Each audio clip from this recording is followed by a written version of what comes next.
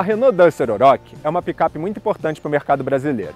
Primeiro, porque ela inaugura um segmento, que é o de picapes intermediárias. Ela não é compacta e nem é média. Segundo, porque geralmente os utilitários esportivos é que são derivados da picape, assim como o Trailblazer é da Chevrolet S10 e o SW4 é da Toyota Hilux, por exemplo. Aqui, a Oroch, que é a derivada do Duster, o utilitário esportivo. Com tantas novidades interessantes, tem muita gente curiosa a respeito da Oroch. Por isso nós trouxemos ela aqui em vários tipos de ambiente para ver se ela vale a pena. Será?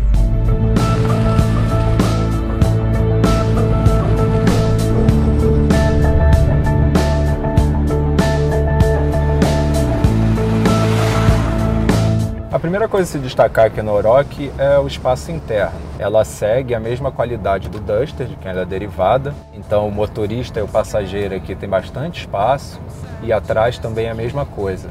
Bem diferente das cabines duplas ou estendidas das picapes compactas e não chega a ser aquele desperdício de espaço que você vê no uso urbano nas picapes médias. Em termos de desempenho, com motor 1.6, ela é um pouco pesada para esse motor, mesmo ele tendo um bom torque para um uso urbano, andando aqui na estrada, como a gente está andando agora, tranquilamente, ele consegue levar o carro. Óbvio que você compra uma picape dessa, quem compra uma picape dessa não está esperando um desempenho esportivo. No 1.6, que é essa versão aqui que tem até 115 cavalos, o desempenho é apenas mediano. Em compensação, você tem uma capacidade de carga muito boa, que é de levar até 650 quilos, que é uma medida muito interessante para quem quer uma picape para trabalhar. Por ser uma picape alta também, a posição de dirigir dela é bem interessante. Você fica aqui no, no platô elevado, o que agrada tradicionalmente as mulheres.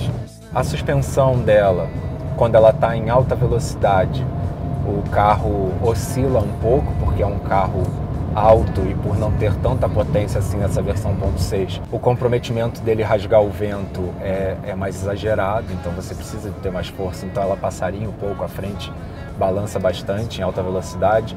Em curvas mais fechadas ou mais rápidas, realmente há uma rolagem de carroceria, mas pelo menos ela não sai muito nas quatro rodas, ela se mantém estável e é só você segurar um pouquinho que você consegue manter o equilíbrio do carro sem susto nenhum e com total de segurança. Então, no, no veredito urbano dela aqui, é um carro interessante que te dá um bom nível de conforto no rodar e que é bastante versátil também, dá para você levar bastante coisa e tal.